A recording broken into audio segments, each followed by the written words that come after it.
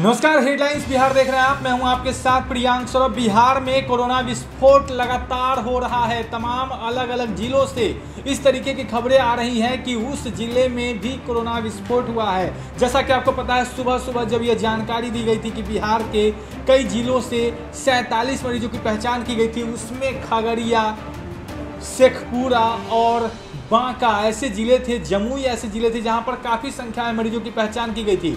जमुई से सात मामले सामने आए थे, शेखपुरा से भी लगभग दर्जन भर मामले सामने आए थे और बांका से डेढ़ दर्जन मामले सामने आए थे। अट्ठारह लोग वहाँ पर एक साथ कोरोना पॉजिटिव मिले थे। लेकिन इस वक्त की एक बड़ी खबर आ गई है, उनचास नए मामले सामने आए हैं और इस उनचास में तमाम अलग अलग जिलों में विस्फोट जैसे हालात है। पूर्णिया में एक साथ पंद्रह पॉजिटिव केस मिले हैं। हम आपको तमाम लिस्ट दिखाते हैं जो स्वास्थ्य विभाग के प्रधान सचिव संजय कुमार ने ट्वीट करके दिखाया है, बताया है कि क्या कुछ अपडेट है। तो इस वक्त की जो अपडेट है, उसे आप देख सकते हैं।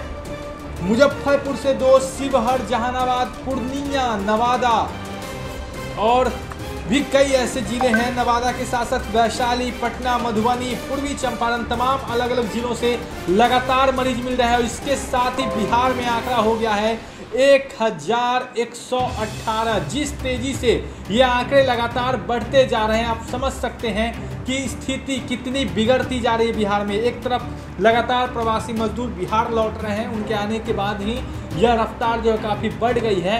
वहीं लगातार ये आंकड़े जिस तरीके से बढ़ रहे हैं तो देश बिहार पर जो खतरा मंडरा रहा है, ये आप समझ सकते हैं। एक हज़ार एक सौ अट्ठारह मामले हो चुके हैं बिहार में। अगर सिर्फ़ आज की बात करें तो आज भी जिस तरीके से ये आंकड़े बढ़ रहे हैं तो समझ सकते हैं कि काफ़ी तेज़ी से 100 के नज़दीक ये आंकड़ा बढ़ गया है। पटना अब तक 100 मामले सामने आए हैं। अगर सिर्फ़ आज की बात करें तो पूर्णिया, बांका, शेखपुरा जमुई। कुछ ऐसे ज़िले हैं जहाँ पर विस्फोट जैसे हालात हुए हैं। बिहार की हालत की बात करें तो बिहार में एक हज़ार एक सौ अठारह लोग अब तक संक्रमित हो गए हैं। सात लोगों की मौत हो चुकी है और अब तक साढ़े चार सौ लोग ठीक भी हुए हैं। तो आने वाले वक्त में जो कुछ भी नए अपडेट्स आएँगे, आप तक सबसे पहले हम पहुँचा रहे हैं। अगर आपने अब तक हमारे चैनल को सब्सक्राइब नहीं किया है तो जल्द सब्सक्राइब कर ले। धन्यवाद।